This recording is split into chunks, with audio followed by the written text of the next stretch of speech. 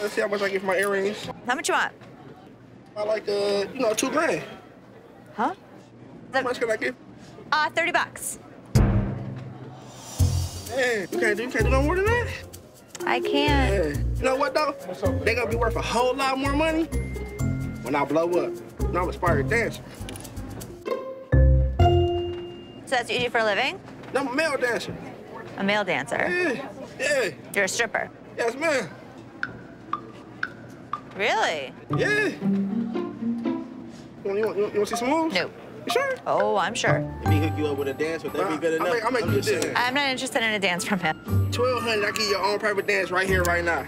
No, no! I'm good. This is a store. You can't, like, take off your clothes here. Sir, you have to keep your clothes on.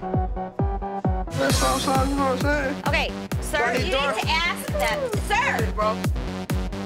I strippers had a six-pack. This guy has a keg. Get out the mood, bro. Needs to leave.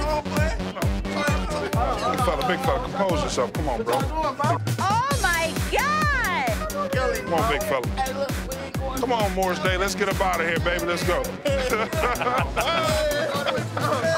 Let's go, fellas. Let's go. Let's go. Let's go. I'm gonna get the one I can catch. Hey, Let's go. Do you want to dance with us? Slide. Yeah, slide out the door.